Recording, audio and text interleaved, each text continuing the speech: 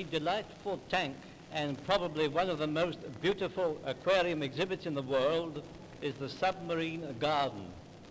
In this submerged rock garden, all the flowering plants are living animals. There are scores of sea anemones, some with dainty feather-like plumes, and others resembling the blooms of the chrysanthemum, aster, and dahlia. This submarine scene is a small section of the biggest aquarium tank in the world. The tank contains 110,000 gallons of water and is now accommodating about 2,000 creatures of the sea.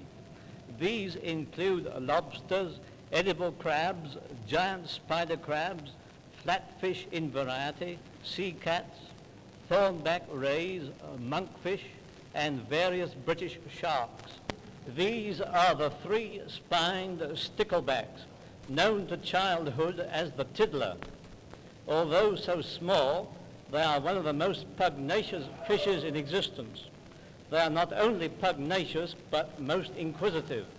The living specimens seen in this tank are herring, silver whiting, and crawfish.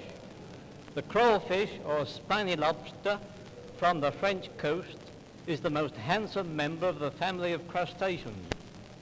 It is noteworthy that living herrings can be seen in no other aquarium in the world. Here we have pike and perch, two English freshwater species. The perch are very resplendent in their striped football jerseys.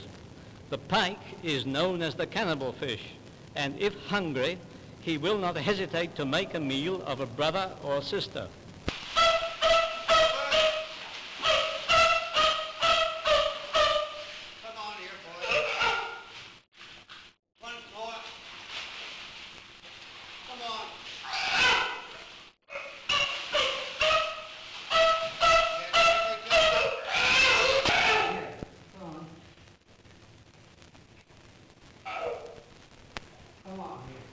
conflict in it. That's boy.